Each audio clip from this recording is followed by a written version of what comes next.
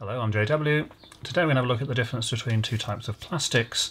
Now both of these are the fronts of some socket outlets we took apart previously. This one is made of urea formaldehyde, which is a hard and fairly robust material, also in the same sort of family as Bakelite and similar things like that. And then this one is made of polycarbonate, which is a thermoplastic, and the difference between these is that the thermoplastic one will melt when at a high temperature and the thermoset one should not. Now uh, we're going to put these both on the same piece of equipment here and uh, just have a quick look at that and then we'll see what happens when they get hot. So here's the setup here, we've got the uh, thing here which is actually for heating uh, circuit boards but we're going to use it for these anyway. So hot air comes out of the hole here. Just got this probe here so we can see the actual temperature. Although this has a temperature knob on the front, it's the actual temperature inside, so not necessarily representing what comes out of it timer there just see how long it's been going on and then the question is just placing the item in uh, the top like that. So pretty straightforward, just going to uh, place it there, turn on the heat to a uh, decent sort of temperature and see what happens. Now of course normally uh, electrical items do not get hot because obviously they're supposed to be fitted correctly and all that but uh, of course they can get hot when you have a loose connection on the back or in the case of a socket like this if uh, say you had a plug with a uh, loose terminal or it wasn't quite the right shape pin or something like that. So these things getting hot is certainly not particularly unusual. It can happen. So we're going to see what would happen here in the case of this one, the thermoset and the other kind, the thermoplastic.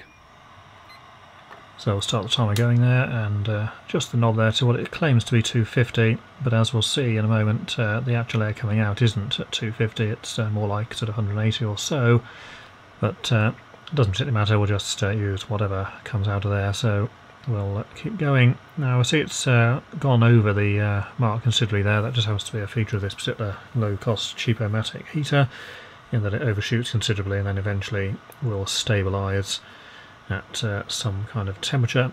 So we see there, it's around 170, 175 sort of area. Now this is the thermoset, which uh, shouldn't be damaged by even quite a lot of heat on there. So we're going to leave this running on here for about 10 minutes and then we'll come back at the end and see what it looks like after that. So that's the 10 minutes there and we see the temperature is around 188 so it has drifted slightly. So let's turn off the heating part there, just leave the fan running and we'll just remove it from there with those uh, metal plier things because obviously it's uh, extremely hot. So as you can see there's no real visible damage to the thing. Put it on the edge here just shows it's not sort of melted or it's coming off or whatever. So uh, despite it being at 180 odd degrees centigrade for 10 minutes, no visible damage whatsoever and it's not deformed and uh, disintegrated or melted or done pretty much anything else. Now I'll do the same again with the thermoplastic version. And this is uh, going to be exactly the same as we did before. And we're going to use the exact same temperature settings. I haven't actually altered the temperature dial on the front there. Now the uh, thermocouple thing is showing 43 because there's obviously some residual heat coming out of the thing, but uh, nevertheless we'll turn the heater on and uh, as before it'll ramp up uh, very quickly. It will overshoot somewhat, so in the sort of 200 range, and then it should drop back to around that sort of 175, 180 kind of area that we had on the previous example. Now this is polycarbonate and the actual melting temperature will depend on various additives that have obviously been put into it but uh, we'll see how it goes on the same temperature as before. And again we'll leave this running for 10 minutes at around 170 180 kind of temperature and come back at the end and see what it looks like then. So coming up to that 10 minute mark again. So temperature is now about 186 there so very similar to what we had previously. And uh, visibly from the position here there's nothing obvious that sort of melted or dripped down or whatever. So we'll just turn the heater off there and again we'll just remove it from the uh, heating point there.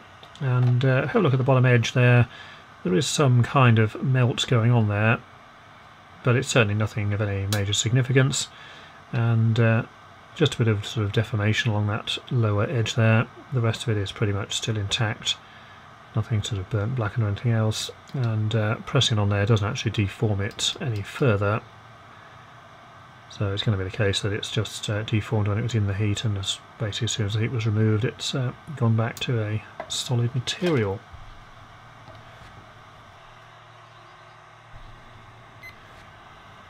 Now we're going to do this again. I've turned the uh, temperature on the thing to the absolute maximum, which claims to be 350.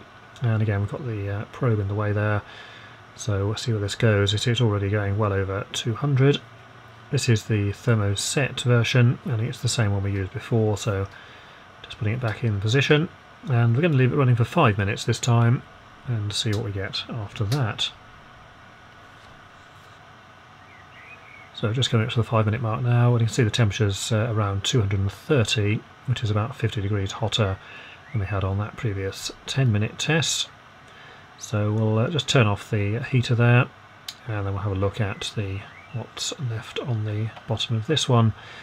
Again, the whole thing doesn't particularly look uh, damaged or completely destroyed there. There is a small amount of damage on the very bottom edge. Again, just putting it there, no material comes off of that, so it's still solid. So a very, very slight mark along that bottom edge there. We'll have a look again if it's closer later on. But again, no real uh, damage there. And so that was 230 degrees centigrade for five minutes. And then we'll do the same, of course, with the uh, thermoplastic one. Again, it's got that small melt on the bottom already from where we heated it before. Same temperature settings, pretty much cranked up to the maximum that this thing goes to and again we'll run this for the five minutes again to see what it looks like after that.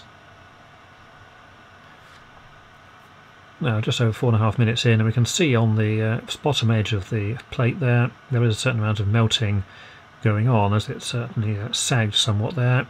Temperature's around 222 there so again pretty much what we had on the other one. So there is certainly a bit of melting going on at these temperatures and let's say after approximately five minutes of time.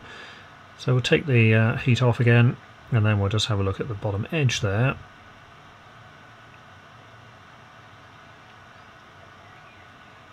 So that's five minutes done, we'll turn the heat off and uh, family stays running obviously to cool the equipment.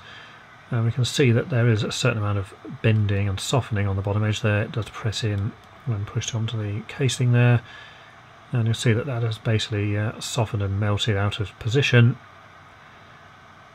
However, bearing in mind that's only that very bottom edge, so basically which was right in the actual heated air, and bearing in mind the rest of the hot air was flowing at the back and the front of this, so it has fared pretty well, and so that was around a temperature of about 230 degrees centigrade.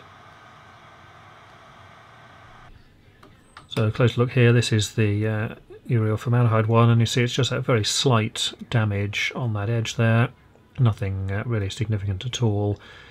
Still fully structurally intact and you see it's just sort of cracked slightly there and a little bit of discoloration.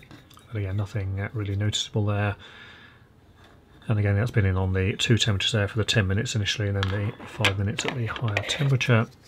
And this one is the thermoplastic polycarbonate you can see that the plastic has definitely softened there and deformed but again it's still relatively minor so in terms of these having, say, an overheating plug or whatever in, there may be some discoloration or melting, but it's not going to be uh, sort of dripping on the carpet or anything like that. Again, it's pretty much what you'd expect to uh, find on something that is reasonably compliant with the various regulations of these things. So you see there just a comparison between the two edges. Certainly more damage on the thermoplastic, but again, it's fairly minor in both cases.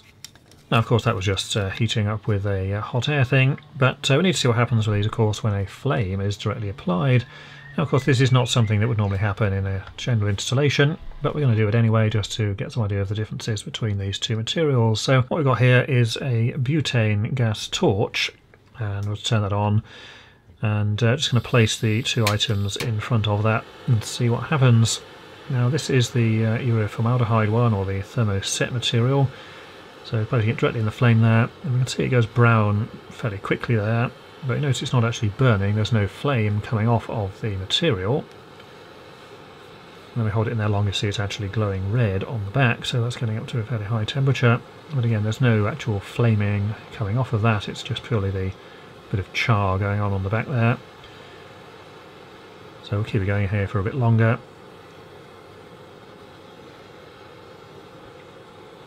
This is of course being done outside, so if any uh, toxic gases are given off they won't be uh, being inhaled.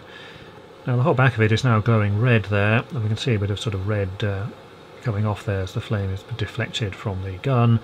And again, the thing itself is not actually burning, and it's not melting either, it's still fully structurally intact, a bit of smoke coming off. The other side there is still pretty much as it started with. So this is really why these types of thermoset materials are used for electrical items. In the event of overheating or even a fairly serious fire like this, they are extremely durable and they, uh, they don't burn themselves and they don't uh, obviously melt and drip on the floor and leave live parts exposed. So that's uh, what we've got there, so quite charred and cracked on the back, but say fully intact, not actually burning, just a bit of obviously smoking and smouldering going on there with the blackened bits on the back. Now moving on to the uh, thermoplastic version, so exactly the same. We can see straight away a major difference in that there's a lot of yellow flame coming off of this. And now you can see the whole thing is basically on fire, so significant difference there already as this thing is actually burning, whereas the other one of course was just charring up, and if we take it out the flame there, see the flames do continue for a while, although they of course do extinguish, which again is what you would expect. So we'll put it back in the flame again because uh, the other one was in for that time, and you can see that it does certainly aid in combustion, because all those flames of course are far more than is what's coming out of the gas torch. And again, remove it from that, you see it's now burnt right through the other side, and it's still burning when it's away from the flame, although there is some self-extinguishing uh, effect going on. now it's getting to a high temperature, so you can see the plastic is now melting and dripping down. So again, not something that's particularly desirable. But again, this is a very extreme test and uh, not something that would normally happen in a normal installation unless there was actually a fire going on. So well alight now, and you see the whole thing is now just melting into a soft and uh, gungy mess. So that's pretty much uh, the end of that. And you see a lot of black smoke coming off and uh, various flames still coming out of it, which uh, do extinguish after a few seconds. So uh, that's uh, pretty much the end of that one. So here's what's left at the end. So that's the thermoset one. Quite blackened and charred on the back, and you see that there's cracking of the material there, but structurally it's still fully intact It hasn't uh, disintegrated into anything else and uh, the front looks pretty much as we started. This thing on the other hand is a congealed melted mess so uh, obviously different type of material and this is primarily due to that that this sort of plastic will melt at a high temperature and whereas the other kind does not. Now, say this is obviously a fairly extreme test, so uh, in terms of using these things, whether they're made of thermoset or thermoplastic materials, probably not a huge significant difference. However, certainly in the case of a fire or whatever, it's going to be much better to have the uh, thermoset materials. This is also why things like old fuses in rewirable fuse boxes are made of a similar material, so if they got hot and even set on fire, you didn't get that sort of melting and burning effect, it just uh, contained it within the box there. So uh, that's it for this video. Until next time, thanks for watching.